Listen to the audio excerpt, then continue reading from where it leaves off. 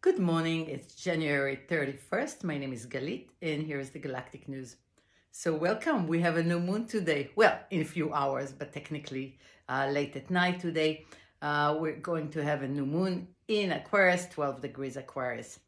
And I looked at the chart this morning. I always look at the chart this morning, and I saw that we are having four planets in Capricorn, one planet in uh, Taurus, so that's five planets in earth signs, two planets in water in Pisces, Jupiter and Neptune, and three planets in air in Aquarius, the Sun, Moon, and Saturn. But there are no planets in fire. And I looked at it and I said, where is the fire? Why don't we have planets in fire in this uh, new moon chart? And then I realized that sometimes a lack of element is speaking louder than anything else, right? When we're lacking something, it always shows something and we can really see something about ourselves. So I saw something about this uh, new moon chart.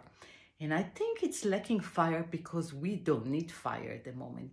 Fire is that element that is igniting things. It's inspiring us to do things. It's taking a, the leadership role. It is pushing forward. It wants to do something and create something and do it very fast and in a loud voice. Those are fires.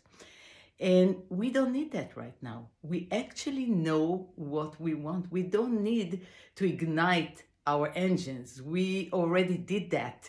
And right now we're ready with the plan. What we need now is execution. We need to show up. That's why we have five planets in earth signs. Earth signs is all about producing results. That's what you want to see. That's what I want to see.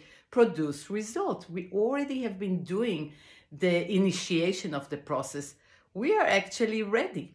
So that's why the element of fire is missing. However, uh, with, if you have um, planets in any fixed signs, this lunation is taking uh, place at 12 degrees a fixed sign Aquarius. So if you have planets in mid sign of any fixed sign, which are Taurus, Leo, Scorpio, and Aquarius, you guys are being affected more than other signs and you've been affected in a different way. For Taurus people, this is uh, a last quarter square, uh, square where the lunation takes place. That means you guys have to adjust something in the way you think, in the way you implement at the moment. You have to adjust, let something go in order to create the new.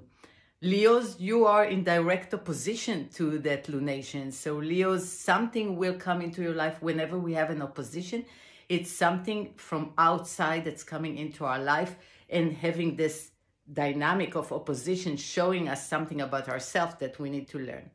And if you guys are Scorpio, mid-sign Scorpios, you guys are in a first quarter square. That means you have to take some sort of an action in order to um, leverage on this lunation. And if you're in Aquarius, obviously this is the conjunction. If you have mid uh, mid degrees of Aquarius, either your sun, moon, ascendant, any planets, you guys are integrating the energies of the new moon and you're having a whole new beginning to that planet that you have in that sign.